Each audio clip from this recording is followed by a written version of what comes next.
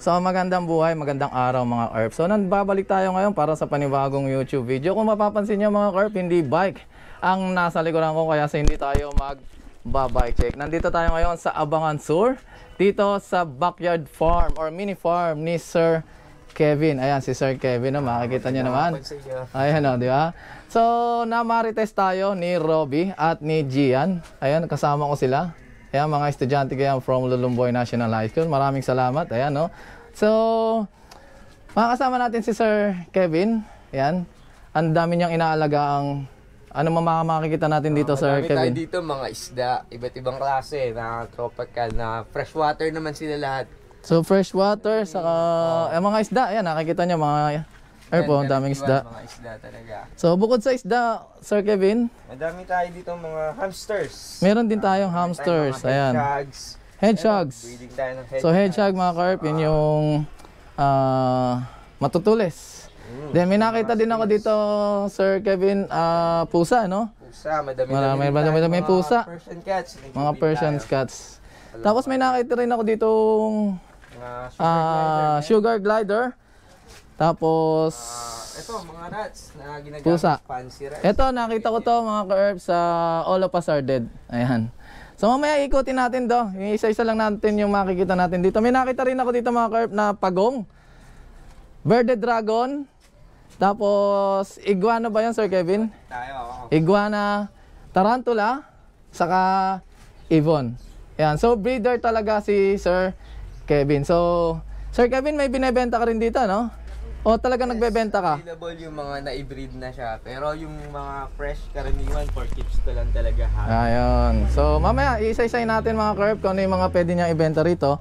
Then, bibigay tayo ng price range or average price para kung sakaling magustuhan nyo, punta kayo dito sa kanyang bahay or mini farm. So, ano pa hinihintay natin mga curve? Tara. Saka, ah, yun lang, yun lang. Yan. So, tingnan tayo dito. Ah, ano to, Sir Kevin? Mga fancy mice. Fancy mice. Ayan, nasa magkano yung price range ng ganito? Price range niya ay 25. 25 isa. Oo. Twi- Mga 25 to unit 50. siya. So depende sa laki to, no? Depende sa size. Depende sa size. Ah, feeder din ba to? Feeders sila. Feeders din to. Ayan, pwede rin ipakain yan sa malalaking mga hayop yan. Exotic yan. Yung mga Ito- hamsters. Hamster, anong hamster to, Sir Kevin? Syrian. Ay, Si- yung mga Campbell dwarf hamsters. Camber Dwarf Hamster. Price range nito? Biglang nagsilabasan na. na. 100. 100. Ayan, pinaka-lowest yung 100. Pinakalawas. Ayan, so tataas pa yan mga kar. Biglang nagsilabasan, nakakita ng camera, kita niya naman oh. Kanina wala yung mga yan. Ayun oh, naglalabasan na oh. Hmm. Dito naman, hedgehog. Oo. So may Ang mga sizes, is 1,000. sa, may sa sizes siya mga curve. So ang standard is Ang 1,000. breeder size niya is 1.5. Tapos yung mga, ito, medyo maliliit pa siya, 1,000. 1,000 yung pinakamaliliit, breeder size is 1,500. So depende na lang sa laki na gusto ninyo. Ayan, silipin natin. Ayan oh. So ito yung mga natutusok. So hindi yan basta-basta mahawakan. Na alam ko nanging, nangangamoy yan eh. Ayan, pag kilala na yung amoy mo, yun, saka hindi sila matakatusok. Ay, may baby na siya. Mga ilang weeks to bago may benta, Sir Kevin? Actually, one month, eh, pwede na siyang ihiwalay. One month. Ayan. So yun yung magiging 1,000 pesos. Yes. Oh, yun. So yung bagong batang-batang bata na hedgehog, that is 1,000. Ito, Sir Kevin, ano to? Yun yung Syrian hamster. Ah, serious. Malaki to, no? Mm, mas malalaki sila sa Campbell. Magkano sa ganito? Same din, 100 lang din. Ah, 100 lang din. Pero mas malaki siya sa ano, no? Ito, Syrian din. Mga Syrian hamsters. Syrian. So, ganun din pala price nito mga curve. So, pipili ka na lang kung anong gusto mong hamster. Maliit ba or malaki? Kasi yung prices is parehas lang. Tingnan nyo naman, no? Ah, ano to, Sir Kevin? Fancy rats. Ay, ang laki na nito.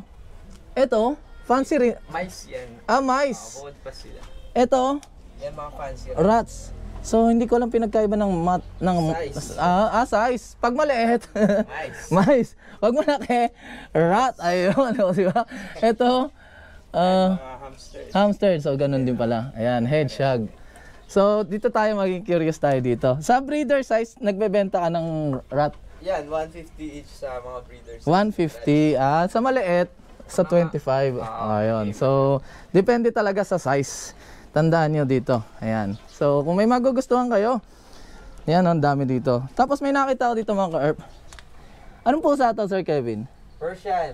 Mga flat face Persian. Flat face Persian. Ayun, nakita niyo yung marap oh. Talaga naman kapag may camera, oh, nakita mo lumalapit sa akin, oh. For sale mo din to? Actually, wala pang for sale ngayon na Persian. Ah, wala pa. Ah, ito, ito, ito, itong pusa na to. Ganun din. Ganon din Persian. Ah, for keep mo to.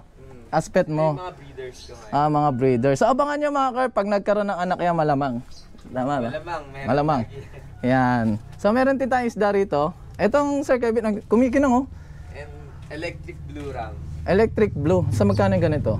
Ang price range niya 500 pair. Uy! Ma ang ganda oh mga curve oh. Breeders natin. Breeder size na to, hindi pa. Yan na yung breeder. Ayun, may mga eggs na sila. Ay, asan? Ah, ayun yung egg nakikita nyo mga curve. Ayun. Ang galing oh. Mm, 500 ang, ang pares. Eto, Ganun din ang sabi niyo nga, powder blue ram. ah, so same species sila. Rams sila, puro sila Ah, rams. eto ganun din. Magkakaiba lang din. Mm. Tapos may nakita tayong pagong. Anong pagong to, Sir Kevin? Yan, Walisian box turtle. Mm, for sale to. Actually, for keeps na For keeps, ayan, for keeps. So, eh, pero abangan nyo, nagbibreed, nagbibreed naman si Sir Kevin eh, pero abangan nyo pag may makita kayo dito na mga nakita nyo na gustuhan. Ito, same species din ito. Same din, iba lang siyang tawag. Ah, iba lang ang tawag. German blue ram. German Blue Ram. Ayan oh. Parang ano ah, alak ah. German Blue Ram. Sarap nun. Ito. Ah, betas. Ayan. Ito, to, to. Mukhang interesting to ah. Blue polar pa. Blue polar parrot. Ah, malala- lumalaki to. Ganyan kalaki na siya. Ah, ganito kalaki na to. For sale. Madami tayong for sales na maliliit niya. May malam- maliliit magkano? Nag-range siya from 50 each. Depende pa rin sa size. Depende. sa- pinaka minimum na yung 50 pesos. Ah. Pag may nagtitip na sobrang liit, meron talagang available 10 pesos. Ayun, 10 pesos. Ayan. Talagang pipili ka mga kerp ng size na gusto mo. Yan. At may nakita ako dito mga kerp. Nag-alaga ako nito dati. Yung gecko. Ayan. Leopard gecko. Anong strain ng leopard gecko to, Sir Kevin? Familiar sa Ah. Ayan, mga dito. Matagal na ako nag-leopard gecko way back 20 na 2009. Ang tagal na. Ayan. Ang galing niya. Ang lamig niya pag ginawakan, promise. Ayan. Tapos meron tayo ditong saltwater na Nemo. Ah, clownfish. Ayan, nag-iisa na lang siya, naubos na. Pero nasa price range nito, Sir Kevin, magkano? Sa 150 siya. 150 each. Ayan. So, ang ganda talaga, promise. Oh. Alam magkaroon tayo ng clownfish. Ah, to. Gapi. Ayan. So, gapi, nasa magkano? Per trio to, di ba? Oo, oh, karaniwan ng trio nila, nasa 200 up. 200 up. Depende sa Anong strain to, sir? Yan, Yellow King Cobra. Yellow King Cobra. Ayan. Gapi, ayan, Yellow King Cobra din to. So, ano pa tayo? Ito, ito, ito, ang liliit. Ano naman, Platinum Honduran. Ganito na kalaki to? Hindi, mas malaki pa sila, baby pa lang yan. Ah, baby pa lang to. For sale. Mm. Magkano sa isa? Yan, 25 each. No? 25. Ano ulit tawag? Platinum Honduran, Red Point. Platinum, Honduran, Red Point. Red Point. Ang haba ng pangalan. Honduran na lang, for sure. Or Honduran na lang for short ito. Ah, P-Dirt. Ah, Peter. Ah, ano ba yung P-Dirt? Platinum, Platinum, Red. Dumbo, Ear. Ear. Ayun. Medyo may alam tayo sa konti sa gabi. Tapos ito, Ah, Ang galing ng mukha, oh. Platinum Polar. Platinum Polar. Parrots. Parrots, nasa magkano? Ang breeders niya sa 100 pair naman. Nasa 100 pair ang breeder. Tapos meron tayo dito, ito for keep. Yes, for kids. For keep ma, pero may nakita tayo dito, glider. Night crawler sila. Ah, mga sugar glider. Kung makikita nyo, nakikita nyo ba mga ka-herp? Hanap tayo ng pwesto. Ayun, nag nagtatago siya eh. Medyo tulog sila. Oo, pero tulog siya. natin ng konti. Yan, sige.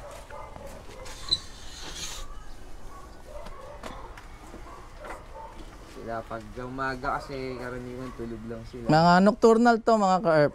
Ayan, for keep to ha. Pinakita lang sa akin. Ito mga Yan. breeders. So, sugar glider. Ayan. Nocturnal yan, tama. O, pang gabi. Ayan. Meron din pa rin tayo dito, mga kerp. Ang dami ng isda rito. Ayan. Ito, ah, parang nakita ko na to doon sa kabila. Ah, iba naman siya. Ano naman yan? Convict.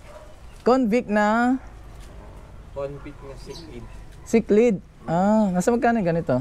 Ganun din, 100. 100. Ito, cichlid din. Yan, convict din siya. Convict cichlid ito mga ka-herp. Ayan o, nakikita niyo ba? Yan. So, talagang backyard na backyard. Ito, ah, ano na to?